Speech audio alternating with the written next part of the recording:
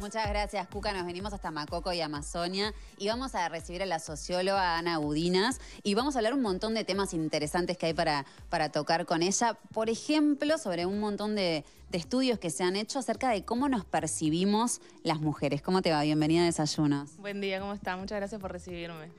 Bueno, eh, ¿qué, puedes contar sobre, vos este, sos una especialista en el tema, cómo nos percibimos eh, eh, las mujeres uruguayas en cuanto a las, a las exigencias de, nosotras mismas también para como poder pertenecer a la sociedad?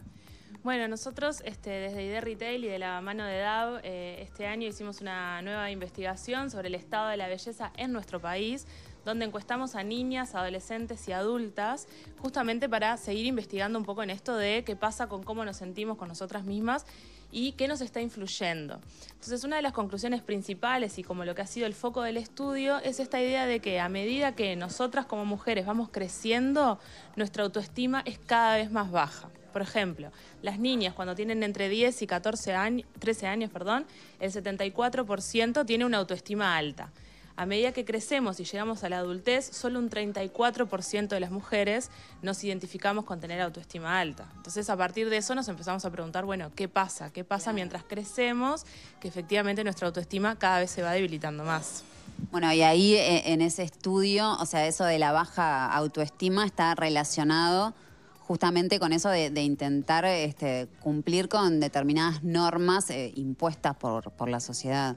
Sí, exactamente. O sea, vivimos en una sociedad que eh, realmente a medida que pasa el tiempo cada vez eh, continúa poniendo más peso sobre un determinado estándar de belleza y además de que pone mucho peso en ese estándar y para las mujeres termina siendo casi que la única herramienta por la cual terminamos siendo evaluadas, sino que además alcanzar este estándar de belleza es cada vez más exigente porque cada vez se nos piden más cosas, se nos piden desde edad más temprana y se nos piden además desde más medios. Antes de repente eran las películas, eh, las personas que aparecían en los medios de comunicación, las propagandas y ahora todo esto se suma el, consumo constante de las redes sociales que continúan en cierta medida perpetuando también esta búsqueda de estos patrones de belleza hegemónica. También, bueno, leyendo un poco la, información sobre esos estudios que, que mencionabas, hay como algo paradójico en el sentido de que por un lado se reconoce que la mujer tiene mucho más presencia hoy en día en todos los ambientes, pero sí se, valora como que hay que ser hegemónica, por decirlo de alguna manera, para que te vaya mejor. Eh, ¿Por qué crees que se da eso? Bueno, eso es así. Por un lado tenemos este, todo lo que han sido las olas de los movimientos feministas, por ejemplo, que han intentado empezar a reivindicar el rol de las mujeres desde otro punto de vista. Em, se entiende hoy que la belleza, por ejemplo, para la mujer es casi que un mecanismo de poder y es un elemento fundamental por el cual nos evalúan. Esto que decíamos al principio. Eh, a nosotras se nos va a juzgar primero por cómo lucimos, por cómo está nuestro pelo, por la ropa que nos pusimos, y después recién se nos va a juzgar y a evaluar por lo que hablamos, por nuestro rol profesional, intelectual, etcétera, ¿no?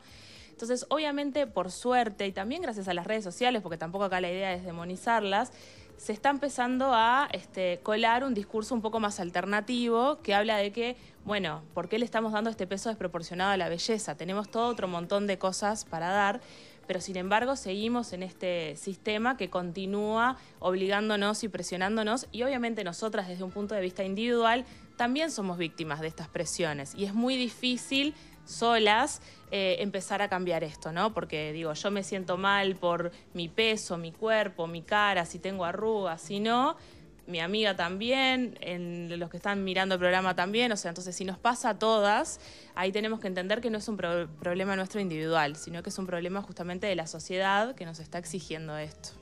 Y también, bueno, eh, detenernos en el motivo ese que, vos también mencionabas, de cómo a lo largo que van pasando los años, la autoestima de las mujeres en general va disminuyendo. ¿Por qué se da eso? Bueno, eso pasa justamente por, eh, por ejemplo, algo que se llama los vehículos culturales, ¿no? Que es esto que hablábamos de los programas, todo lo que tenga que ver con la cultura y la sociedad que transmiten un determinado mensaje. ¿Y qué mensaje? Esto es una narrativa que construye que hay determinados cuerpos que son más valiosos que otros, hay determinados aspectos de cara o determinados aspectos físicos que valen más. Incluso se los carga con una cuestión moral, ¿no? Un cuerpo bueno que termina siendo además el cuerpo exitoso. Si bien sabemos que esto afecta a los varones, también sabemos que afecta muchísimo más a las mujeres, eso también está medido, y termina teniendo repercusiones este, no solo en nuestra vida social, que nos limitamos, esto la, encuesta lo, lo da, por ejemplo, de que dejamos de hacer actividades sociales por sentirnos mal con nosotras mismas, pero también como mujeres adultas dejamos de pedir un aumento en nuestro trabajo, por ejemplo, porque nos sentimos mal, no estamos conformes con nuestro aspecto, tenemos miedo a hacer una presentación, a exponernos porque nos sentimos mal con nuestro aspecto. Entonces nos empieza a limitar en nuestra vida social y en nuestra vida laboral y hasta económica. Eh, también me gustaría preguntarte, porque, ah, por ejemplo, en las niñas, porque hoy en día que están la mayoría también expuestas a, redes sociales, es cada vez más común ver niñas queriendo imitar de repente las rutinas de skincare que ven de, los adultos. Entonces, ¿cómo dominar eso? Porque por una parte... Eh, puede tomarse como un juego, pero hasta dónde este, se puede eh, controlar eso. Exacto. Bueno, eso es interesante porque un poco a través del juego también se construyen narrativas, ¿no? Este, cuánto ya se ha hablado de esto de los juegos rosados y los juegos celestes o sectores en la juguetería para nenes y nenas, que eso se está empezando a avanzar. Ahora sí, que un cumpleaños de niñas de 10 años sea la rutina de skincare, donde efectivamente se ponen cremas, les digo, ahí hay, como que tener cuidado justamente en este límite de, bueno, de jugar, o cuando yo era chiquita jugaba a pintarme los labios, pero ¿qué eh, simbología hay atrás de eso? ¿Es realmente lo estoy haciendo desde un lugar de juego?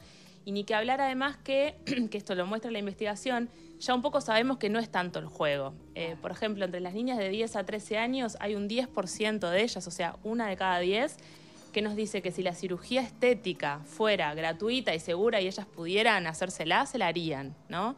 Entonces hoy tenemos niñas acá en nuestro país que están pensando en eso, que quieren modificar parte de su cuerpo, parte de su cara, eh, que realmente no es una preocupación que tenían generaciones más atrás a los 10, la tenían de repente más a partir de los 15. Esto cada vez justamente se va corriendo.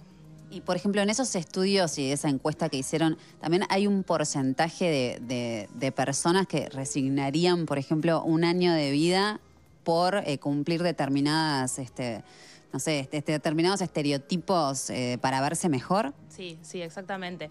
Bueno, el 16% concretamente de niñas, de vuelta, renunciaría a un año de su vida en pos de conseguir este aspecto ideal, que además imagínense lo que es cuando tenés de 10 a 15 años, un año de tu vida es un mundo.